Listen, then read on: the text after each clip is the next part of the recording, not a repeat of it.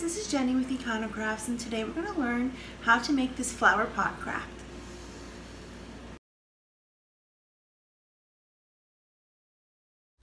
So first take your brown felt and place your paper cup on top.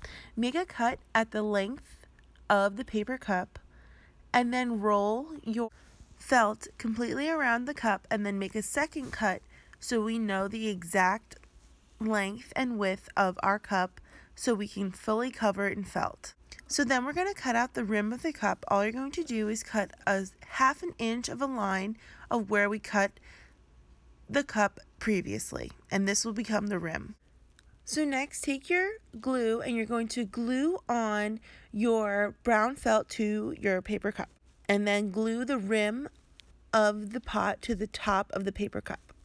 Flip your cup upside down and take your green pipe cleaner and poke a hole through the center of your paper cup. This will become the stem.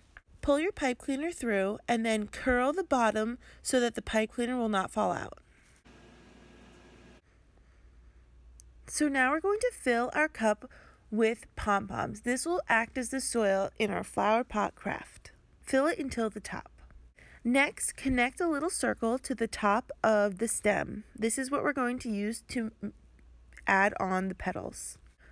So next, thread through all of your yellow pipe cleaners and do them at different directions. This will create the petals of our flower. So to make the petals, all you're going to do is you're going to coil each end of your yellow pipe cleaners to the center of the stem.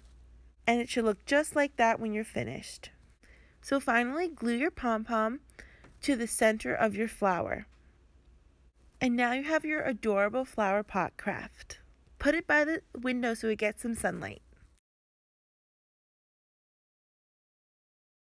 You can find all the supplies you'll need at econocrafts.com, link in the description below. If you enjoyed this video, please make sure to like and share to anyone who may benefit.